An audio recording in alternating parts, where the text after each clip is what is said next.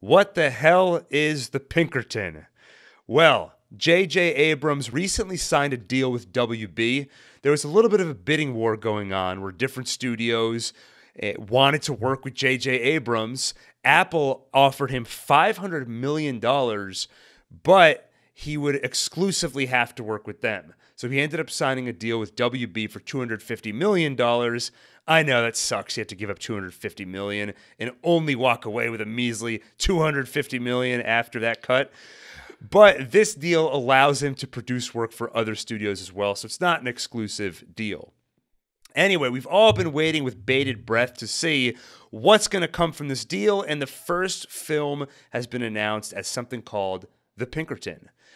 Now, we don't know much about it. Deadline describes it as a supernatural revenge thriller in a Western setting. We also know that it's being written by Daniel Casey, who's probably best known for having done a rewrite on 10 Cloverfield Lane, another movie that came from Bad Robot, J.J. Abrams' production company. Daniel Casey is also a co writer on the upcoming F9, the ninth movie in the Fast saga. So, Alun, are you excited for this movie based on what little we know about it? Uh, yeah. I like 10 Cloverfield Lane. I like J.J. Abrams. I like the name The Pinkerton. it is a great name. It's fun to say. Yeah. And I'll add to that uh, I love Westerns. I love revenge stories. I love revenge Westerns. And you can take just about any genre or any movie plot you throw the word supernatural in front of it, you've just you just doubled my excitement for the movie. I'm with you. And, and by the way, so so what is Pinkerton? Pinkerton is actually a detective agency, formerly known as Pinkerton National Detective Agency, which was formed by a Scotsman named Allan Pinkerton in 1850. And yes, I am going to see how many times I can say Pinkerton before this video is done. So, Allan Pinkerton formed this detective agency in 1850, and they were put on the map when they foiled the assassination attempt on Abraham Lincoln. Huh. I was uh, that I was going for some humor there. I was waiting for you to be like, "What do you mean foiled the assassination attempt on Abraham Lincoln? He was huh. assassinated." Oh, I thought you were saying this movie is going to be like an alternate history. No, no, this is not about the movie. This is about the real Pinkerton National oh. Detective Agency. okay. So, this is a fun fact. There was an assassination attempt on Abraham Lincoln, which the Pinkerton Detective Agency stopped.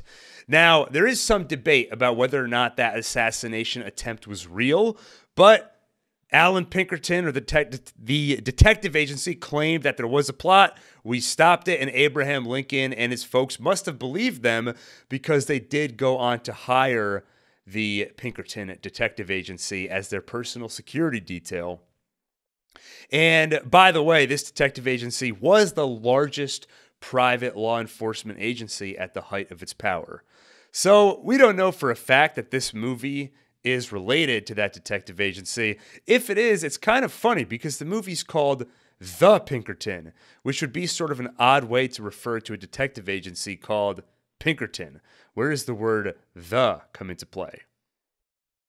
Any speculation, Alun? Um,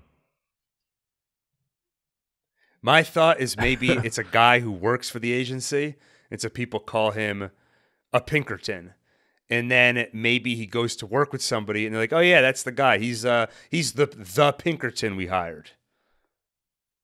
Makes sense. All right, but you know J.J. Abrams loves the mystery box, right? He loves to keep us guessing. So that's the first mystery of this movie is where does that the come into play? And maybe I've cracked the code.